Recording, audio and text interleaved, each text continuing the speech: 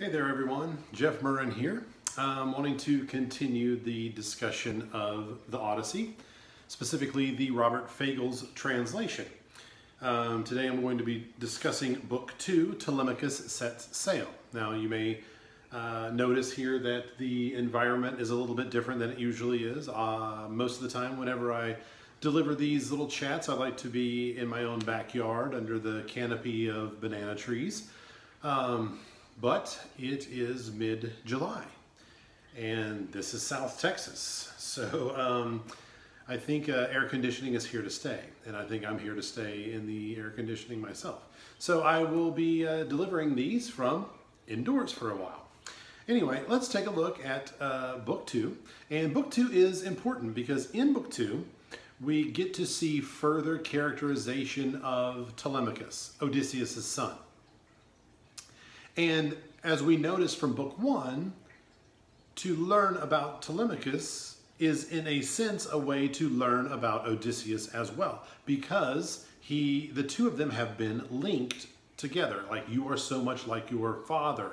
I see your father in you and things like that. All right? So the more we get to know Telemachus the more we also get to know um, Odysseus in a strange way. Uh, not a strange way but he's a chip off the old block kind of a thing all right. Um, also, we get to see, I brought up uh, Alcinous. Okay. He is the most outspoken, biggest jerk of the suitors, the men who have come to try to win over Penelope, Odysseus' wife, in his absence. Because if they are to win her over, then they get all of Ithaca. They get to rule over Ithaca. They get all the spoils of uh, Ithaca and everything that Ithaca has to offer. Of course, they're wearing out their welcome. We talked about Xenia. We talked about how that is going against what the gods actually want. Um, and so they're putting themselves in a really bad place. And Telemachus, if Penelope does not marry, Telemachus is the one to then take that throne and that, that royalty, if you will, or the, the rulership of Ithaca. So really there is a lot of tension between Telemachus and these suitors who are here to uh, win everything they can. They're the guys who try to get the most out of doing the least, and that's what they're here to do. All right, so let's go ahead and let's take a, uh, a look at the very beginning here. Telemachus sets sail. When young Dawn, with her rose-red fingers, shone once more, the true son of Odysseus sprang from bed and dressed. Over his shoulder he slung his well-honed sword, fastened rawhide sandals under his smooth feet, and stepped from his bedroom, handsome as a god. All right, a couple things. Notice Dawn has a capital D. Dawn with her rose-red fingers. All right, Dawn is considered not just to be the dawn or the sun coming up over the horizon. Dawn is an actual god, goddess, all right?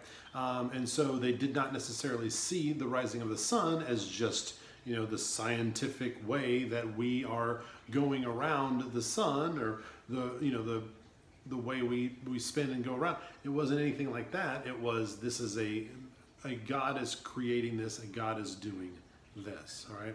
And we see that uh, Telemachus is handsome as a god because he's got some big work that he's going to have to do. He's going to have to convince some people that he is right for what is going to happen and that he is the one to take charge and that he is the one who is, after all, Odysseus' son.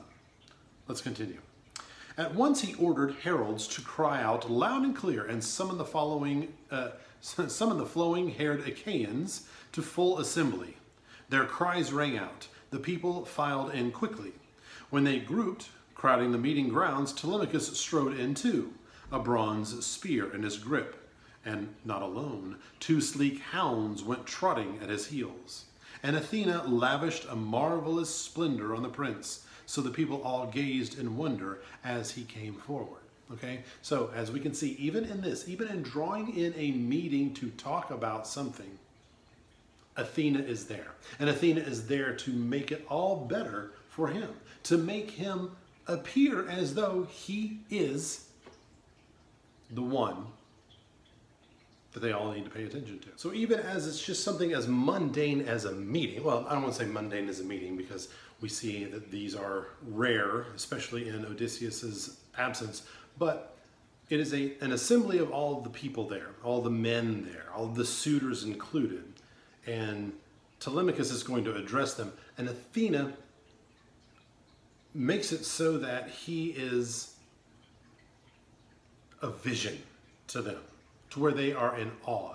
She's doing everything she can to try to help Telemachus in everything he's trying to accomplish. So on page 94, we see about line 38 that the herald Pisanor, skilled in customs ways, put the staff in Telemachus's hand, and then the prince addresses everyone. All right, now let me point out here, this is something that is a, a, a, a standard, like this is, whoever has the staff has the floor. All right, so it's kind of like if you've read Lord of the Flies, the conch shell. Whoever has the conch shell can address everyone. Same type of thing. So before this, we saw a lot of grumbling amongst the suitors who were there, saying like, "Why did anybody call a meeting? Who is the who is who is the person responsible for this meeting? What is the meaning of this meeting? We haven't had anything like this since Odysseus was around. All right. So then Telemachus gets the staff, and everybody's like, "Oh, okay." The boy has something to say, and he does. He says, "I." was the one who called us together. Something wounds me deeply. Not news I've heard of an army on the march, words uh, I've caught firsthand so that I can warn you now, or some other public matter I'll disclose and argue. No, the crisis is my own. Trouble has struck my house. A double blow. First, I've lost my noble father who ruled among you years ago, each of you here, and kindly as a father to his children. Okay, so I've lost my father who was your ruler, who ruled you in the kindest way possible. You owe him better than the way you're behaving now. It says, but now this, a worse disaster that soon will grind my house down, ruin it all, and all my worldly goods in the bargain. Suitors plague my mother against her will.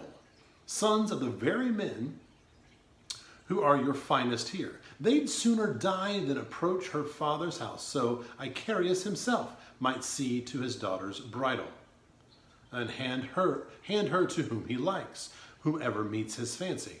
Not they. They infest our palace day and night. They butcher our cattle, our sheep, our fat goats, feasting themselves, swilling down our wine as if there's no tomorrow, all of it squandered skipping down a few to the last two lines of that section, he says, By God, it's intolerable what they do. Disgrace my house, a shambles. You should be ashamed yourselves, mortified in the face of neighbors living around, living round about. Fear the God's wrath before they wheel out and wheel in outrage and make these crimes recoil on your heads. I beg you by Olympian Zeus, by Themis too, who set assemblies free and calls us into session, stop, my friends. Okay, so Telemachus is begging them outright, kind of giving them the opportunity to make things right. All just sat there, silent. No one had the heart to reply with harshness, only Antinous, remember him, who found it in himself to say, So high and mighty, Telemachus, such unbridled rage. Well now, fling your accusations at us? Think to pin the blame on us? You think again. It's not the suitors here who deserve the blame, it's your own dear mother blaming the victim here, okay? The matchless queen of cunning. Look here, I think it's interesting. She is considered by Antinous and these suitors as the matchless queen of cunning. What did I say in the first video that Odysseus was known for? He was known for being clever. So here we're kind of starting to see, and it'll continue on as we move throughout the book, that these two, Penelope and Odysseus, may have been rightly joined as husband and wife. Both of them being clever, both of them, and as it says here, cunning, all right, figuring out ways to adapt and make circumstances work as they see fit. All right, so I'm going to continue on. For three years now, getting on to four, she's played it fast and loose with all our hearts. Hmm. Building each man's hopes, dangling promises, dropping hints to each, but all the while with something else in mind. She set up a great loom in the royal halls, and she began to weave. And the weaving fine, and the weaving fine spun the yarn, the, the yarn's endless. Ah, and she would lead us on, young men, my suitors. Now that King Odysseus is no more, go slowly, keen as you are to marry me, until I can finish off this web. So my weaving won't all fray and come to nothing. This is a shroud for old Lord Laertes, for that day when the deadly fate that lays us out at last will take him down. I dread the shame my countrywoman would heap upon me. Yes, if a man of such wealth should lie in state without a shroud for cover. So essentially what she says is, guys, if you will give me time, I'm weaving a shroud, something to cover the dead body of Laertes, my father-in-law, Odysseus's dad. He's old. And I can't, I would not be a woman of the time if I were to let a powerful man like my father-in-law lie in state without a shroud to cover him up after he passes away. So please, take your time and allow me to finish this. But, get this. So by day, she'd weave at her great and growing web. By night, by the light of torches set beside her, she would unravel all that she had done. So she's like, guys, give me time. So she'd work all day weaving and weaving and weaving. And then at night, she would undo everything. So she's not actually making any progress. And here's something I think is important. It has taken them almost four years, the suitors, it's taken them almost four years to figure this out. One, they may not be that bright. Two, what do they really care? They're eating all they want to eat, they're drinking all they want to drink, and they're ordering all the shows of music and uh, singers that they ever care for. So they're doing all right in the meantime. All right. So the top of page 97, it says, send your mother back. Direct her to marry whomever her father picks, whoever pleases her, so long as she persists in tormenting us, quick to exploit the gifts Athena gave her, a skilled hand for elegant work, fine mind, and subtle wiles too. Goes down further, about four lines, it says, not one could equal Penelope for intrigue. There again, we see how she is rightly chosen to be the wife of clever Odysseus. So we will devour your worldly goods and wealth as long as she holds out, holds to that course the gods have uh, charted deep inside her heart. Skipping a couple lines, we'll not go back to our old estates or leave for other parts, not till she weds the Argive man she fancies. So they say, hey man, no dice. We're going to keep on going on because it's her fault to begin with. She's gotten herself and then you as well in this mess. Okay? Telemachus responds, and I'd like to focus on the last three lines of that uh, page. It says, But if you decide the fare is better, richer here, destroying one man's goods and going scot free, all right then, carve away. All right? Like, you go ahead and just continue this path that you're on. Telemachus goes then and prays to Zeus on page 98. It says, And to seal his prayer, far-seeing Zeus went down, uh, sent down a sign. Okay, now if you remember from the Iliad, we had all of these bird signs, and someone mentioned the bird signs even in book one. Like, I'm not really skilled in figuring these out. Well, here we go. We're getting our first bird sign. And to seal his prayer, far-seeing Zeus sent down a sign. He launched two eagles soaring high from a mountain ridge, and down they glided, borne on the wind's drafts a moment, wing to wing tip. Uh, pinions straining taut, till just above the assembly's throbbing hum, they whirled. Suddenly, wings thrashing, wild onslaught of wings, and banking down at the crowd's heads, a glaring fatal sign, talons slashing each other, tearing cheeks and throats. They swooped away and on, on the right through the homes and cities. So remember, something on the right is different than something on the left. Bird signs, all of this going back to the imagery and the signs that we saw in the Iliad. All right. So, um, Halitherses offers up his interpretation of this sign about line 183.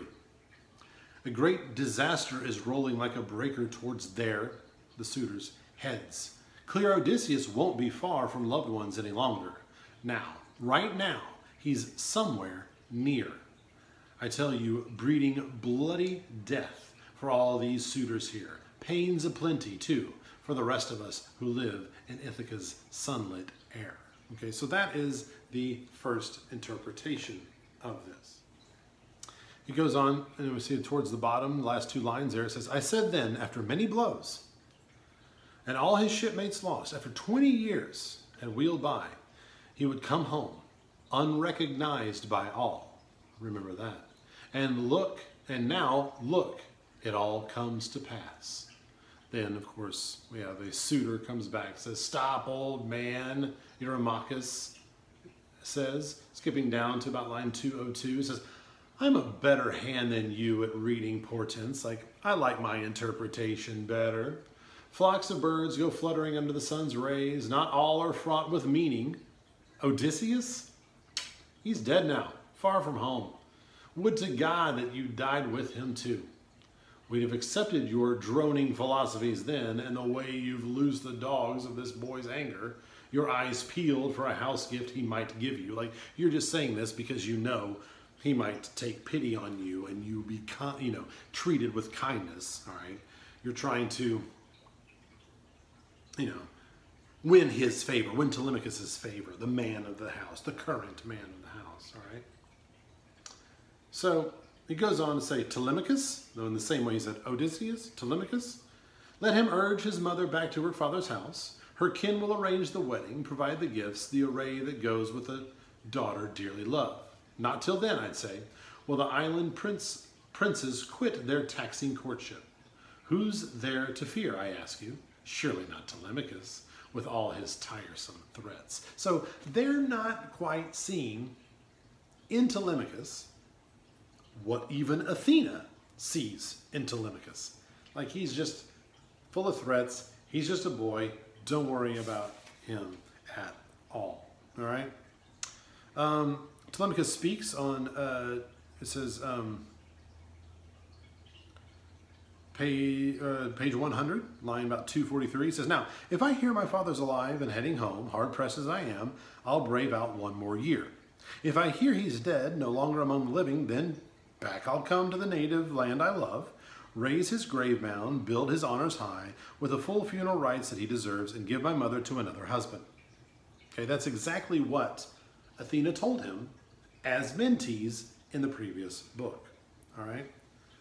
So we have uh, the noble character of Mentor on page 250. And Mentor, I mean on line 250. And Mentor says, let's say about line 256, says, Hear me, men of Ithaca. Hear what I have to say. Line 260. Think. Not one of the people whom he ruled remembers Odysseus now, that godlike man, kindly as a father to his children. I don't grudge these arrogant suitors for a moment, weaving their violent work with all their wicked hearts. They lay their lives on the line when they consume Odysseus's worldly goods blind in their violence, telling themselves that he'll come home no more. But all the rest of you, now you rouse my fury, sitting here in silence, never a word put forth to curb these suitors, paltry few as they are, and you so many. All right, so Mentor is saying, look, a lot of these people who are here, they don't remember Odysseus. He's been gone for 10 years. They were, uh, you know, not necessarily of age, all of them. And it's upsetting what they're doing. But it's also upsetting that other people here who do know Odysseus and who do remember Odysseus whenever he was a ruler, it makes me mad that you all aren't doing anything. And you know that's always the way, right? It's bad enough when somebody does something that's that's mean-spirited, that's rude, that is you know, violent even. And when someone doesn't intervene, they just sit idly by and allow it to happen, shame on them too. If somebody says something rude to another person and you just sit there silently and watch it happen, it's on you too. That's what he's getting at here. All right? You can see here that they don't believe that Telemachus will make that trip, line 289. He'll never make that trip because remember, he's going to try to go off to talk to Nestor and talk to Menelaus to kind of try to find out where his father is. All right. We see that he prayed to Athena. Right, this is about line 295. It says, Dear God, hear me. Yesterday you came to my house. You told me to ship out on the misty sea and learn if father, gone so long, is ever coming home. Look how my countrymen, the suitors most of all, the pernicious bullies foil each move I make. Says Athena came to his prayer from close at hand. For all the world with Mentor's build and voice. So now she was like Mentes before, she's like mentor now. I want you to take a look at line three, let's say 309. It says, Few sons are the equals of their fathers. Most fall short, all too few surpass them, but you, brave and adept from this day on, Odysseus' cunning has hardly given out in you. There's every hope that you will reach your goal. This is coming from Athena herself. Skipping a couple lines says, Not a shred of sense or decency in the crowd, nor can they glimpse the death and black doom hovering just at their heads to crush them all in one short day. So, in the way that we saw from the very beginning, that Achilles was doomed in the Iliad, we see that these suitors are doomed from the very beginning of the Odyssey. All right. Let's bring it on down to about line 325. It says, While I make the rounds in town, this is Athena speaking here, while I make the rounds in town and quickly enlist your crew of volunteers, lots of ships in uh, sea grit Ithaca, old and new. I'll look them over, choose the best in sight. We'll fit her out and launch her into the sea at once. All right. So you can also see Antinous making a fool of himself again. The last four lines is Antinous, Antinous, smiling warmly, sauntered up to the prince, grasped his hand and coaxed him, savoring his name, Telemachus my high and mighty, fierce young friend, no more nursing those violent words and actions now. Come, eat and drink with us, just like the old days. Whatever you want, our people will provide. A ship and a picked crew to speed you on to holy Pylos, out for, uh, out for news about your noble father. Skipping about three lines down, you ruffians carousing here. This is Telemachus's response. Isn't it quite enough that you, my mother's suitors, have ravaged it all, my very best, these many years, while I was still a boy? But now that I am full grown and can hear the truth from others, absorb it too. Now, yes, that the anger seethes inside me. I'll stop at nothing to hurl destruction at your heads. Trust me. About line 422, one of, uh, line 10, or page 105. Then bright-eyed Pallas, that's Athena, thought of one more step. Disguised as the prince, disguised as Telemachus himself, the goddess roamed through the town, pausing beside each likely crewman, giving orders. Gather beside our ship at nightfall. Be there. She asked Noemon, uh, Phronius, generous son, to lend her a swift ship, and he gladly volunteered. Finally, on page 106, line 461, bright-eyed Athena sent them a stiff following wind, rippling out of the west, ruffling over the wine dark sea. So you can see Telemachus has what it takes, but Telemachus is at odds with those suitors. There are more of them than there are of him, right? So they're not about to listen to him, and they stand to lose everything if he's the one who actually ascends to take over where Odysseus was. So they're not about to budge no matter what he has to say. But what you can see is while Telemachus has what it takes, Athena also sees that Telemachus has what it takes. And if he does have what it takes, and he's got the goddess Athena to back him up, I don't know how I can lose. All right, so those are my thoughts. Book two. Read book three, annotate book three, have your own thoughts of book three. Meet me back here, and I will discuss book three and my own thoughts on it. So, until then, and as always, happy reading.